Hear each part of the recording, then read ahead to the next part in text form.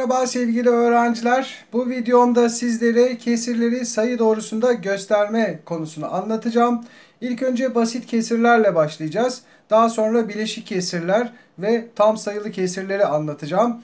Ayrıca sayı doğrusunda gösterildiğinde bunları nasıl yazacağız? Bu konuyu da sizlere anlatacağım.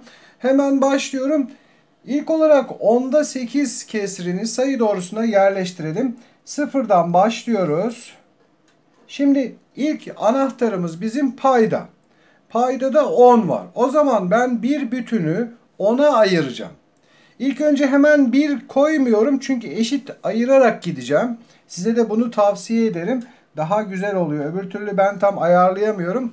Neyse 1 dedik. 2, 3, 4, 5, 6, 7, 8, 9 ve 10.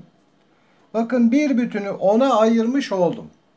Sonra 8. adıma gideceğim. Ne yapıyorum? Sıfırdan başlıyorum ve bir tavşan gibi hoplayarak ilerliyorum. Sıfırı saymıyoruz sevgili öğrenciler çünkü burası başlangıç noktası. Hopluyorum bir adım, 2, 3, 4, 5, 6, 7 ve 8. İşte burası. Demek ki 10'da 8 kesri yeri burası. Şunu söylemek istiyorum. İkinci sayı, e, sayı doğrusuna geçmeden önce basit kesirler her zaman bir bütünden daha azdır. Yani 0 ile 1'in arasında olacak. Buna dikkat edin. Şimdi 7'de 2'yi yapalım. Ne yapıyorum? İlk önce 0'ı koydum. Paydaya bakıyorum 7. O zaman bir bütünü 7'ye ayıracağım. Çiziyorum. 1, 2, 3, 4, 5, 6, 7. İşte burası bir bütün diyorum. Ve ikinci adıma gideceğim. Ne yapıyorum? Sıfırdan başlıyorum. Bir adım, iki adım. Yani şurası işaretliyorum. Demek ki 7'de 2 kesrimiz buradaymış. Şimdi sayı doğrusu verilmiş ve üzerinde iki tane nokta işaretlenmiş. A noktası ve B noktası. Bunlar hangi kesri ifade ediyor? Nasıl yapacağız? Şöyle ilk önce bütünümüzü sayacağız. Kaça ayrılmış? Ve yine söylüyorum sıfırı saymıyoruz.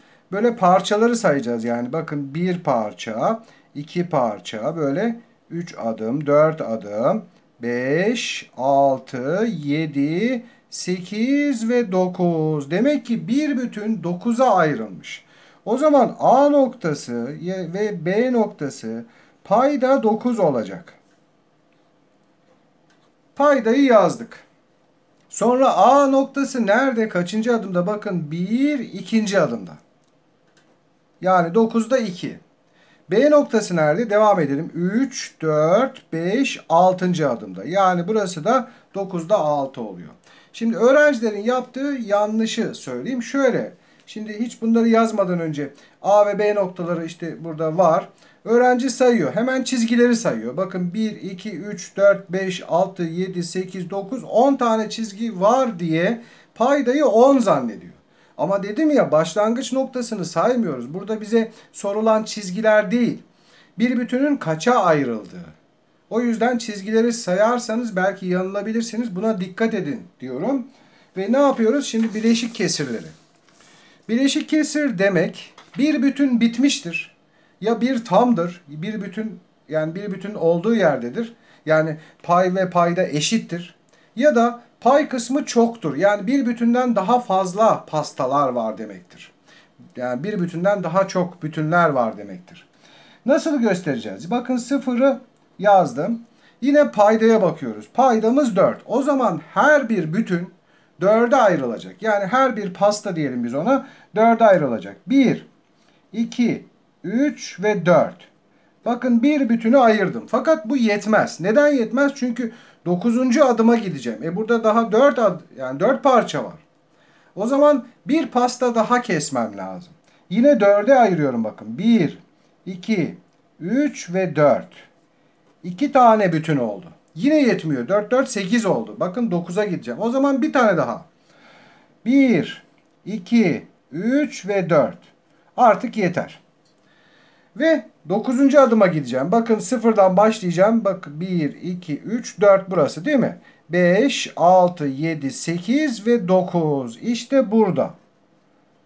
Yani 4 ile 9 kesri bir bileşik kesir ve ikinci bütünden sonra üçüncü pastanın olduğu yerde bakın. Şimdi bunu gösterelim. 5'te 13. Yine paydamız 5. O zaman bir bütünü 5'e ayıracağım. 1, 2, 3, 4 ve 5. Bu yetmez. Tabii ki 13 tane sayacağım ya. 1, 2, 3, 4, 5. 10 tane oldu. Bir tane daha kesmeliyim. 1, 2, 3, 4, 5. Bu yeterli artık. 13.ye gideceğim. Bakın 5 tane burada var. 5 tane burada 10. Sonra 11, 12, 13. İşte burası. Yerini işaretledim. 13 bölü 5 ya da 5'te 13 diye okuyabilirsiniz. Şimdi bu şekilde hazır halde bir sayı doğrusu verildiyse nasıl bulacağız? Öğrenciler şu hatayı yapıyorlar. Sayı doğrusunun hepsini sayıyor. Bakın 1, 2, 3, 4, 5, 6. Bir bütün 6'ya ayrılmış. Ama öğrenci hepsini sayıyor. 6, 12, 18. A harfinin paydasının 18 olacağını zannediyor. Hayır değil. Ben şimdi yerlerini bunların bir hazırlayayım. A, B ve C noktalarını. Şimdi bizim paydamız burada 6 olacak. Bakın bir bütün 6'ya ayrıldı çünkü. A harfi paydası 6. B harfi de 6. C harfi de 6. Yani paydaya sakın 18 yazmayın. Bütün sayı doğrusunu sayıp da buraya paydaya yazarsanız yanlış olur. Şimdi A harfi nerede? Bakın 6 adım geldik buraya. 7, 8. O zaman A harfi 6'da 8 ya da diğer okunuşuyla 8 bölü 6 diyebilirsiniz. B harfi nerede? Devam edelim. 9, 10, 11, 12 değil mi burası? Sonra bir adım daha 13. Bakın 6'da 13. Devam edelim C harfine. 14, 15, 16. Demek ki bu şekilde bileşik kesirleri e, sayı doğrusunda işaretlenmiş olarak verdiğinde bu şekilde yazacağız. Ve doğru yapmak istiyorsak bunlara dikkat edeceğiz. Yine her zaman söylediğim gibi adımları sayarken başlangıç noktasını saymayın. Attığınız böyle tavşan gibi attığınız adımları sayın. Son olarak tam sayılı kesirleri nasıl göstereceğiz? Bakın 2 tam var sonra bir de 5'te 3 var. Yani ben 2 tane bütünü hiç kesmeyeceğim. 0 diyorum. Bir bütün. Onlar bütün bütün alınmış zaten. 2 bütün. 2 tane tamı böyle geçtim şu anda. Sonra diğer bakın 5'te 3'ü göstereceğim ya 3. pastada 3. bütünde onu yapacağım. Nasıl yapacağım? Yine paydaya bakıyorum. 5 var. O zaman 3. pastayı 5'e ayırıyorum. 1, 2, 3, 4 ve 5. Bunu artık ayırıyoruz. Bölüyoruz yani. 3. bütün. 5'e ayırdık ve 3. adıma gideceğim. Yani şuradan başlıyorum. 1 adım, 2 adım, 3 adım. Şurası. Ve buraya yazıyorum şimdi. 2 tam 3 bölü 5 ya da 2 tam 5'te 3 olarak e, söyleyebilirsiniz. Şunu da yapalım. Bakın bu kez 3 tane tam hiç kesmeden ilk önce çizeceğim. 0, 1, 2, 3 tane bütünü hiç kesmeden ayırdım. Şimdi diğer dördüncü e, bütünü 6'ya ayıracağım. Yani şöyle hatta dördüncü bütünü de yapayım da böyle ayırayım. 1, 2, 3, 4, 5 ve 6. Şöyle yapabilirsiniz. Hani bütünü ayır, 6'ya e, ayırırken 5 tane çizgi koyduğunuzda aslında 6'ya ayırmış oluyorsunuz. Böyle de düşünebilirsiniz. Ya da emin olmak için böyle adım adım 1, 2, 3, 4, 5, 6 diye e, emin olursunuz bu şekilde. 6'ya ayırdık. Sonra ne yapacağız? Dördüncü adıma gideceğim. Bakıyorum 1 adım, 2, 3 ve 4. Şurası. İşaretliyorum ve yazıyorum. 3 tam 6'da 4 burasıymış. Peki sayı doğrusunda verilenleri nasıl yazacağız? Bakın e, birinci bütün geçilmiş, ikinci bütün hiç kesilmemiş. Yani birinci bütün, ikinci bütün, üçüncü bütün hiç kesilmemiş. Yani şu A harfini şöyle no, ok işareti gösterelim. B harfini de şuraya yapalım. Şimdi A harfi 3 tane bütün bitirilmiş. 3 tam olmuş. Sonra dördüncü bütün, diğer bütün kaça ayrılmış? Yine ona bakacağız.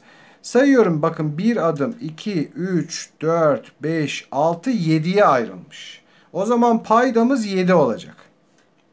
A harfi kaçıncı adımda bakın? ikinci adımda. 1, 2. 3 tam 7'de 2 oldu. B harfini yapalım. B harfi de yine 3 tamı geçmiş. Bakın 4 tamı geçmedik daha. 3 tamı geçtik. Sonra diğer pasta ayrıldı. 3 tam dedim. Yine paydamız 7. Aynı. Aynı şekilde. Peki kaçıncı adımda B harfi? Burası ikinciydi. 3, 4, 5. adım. Ben, yani B harfi de 3 tam 7'de 5 oldu. Umarım sizlere anlatmayı başarmışımdır. Her zaman olduğu gibi iyi çalışmalar, derslerinizde başarılar diliyorum. Başka derslerde görüşmek ümidiyle, hoşçakalın.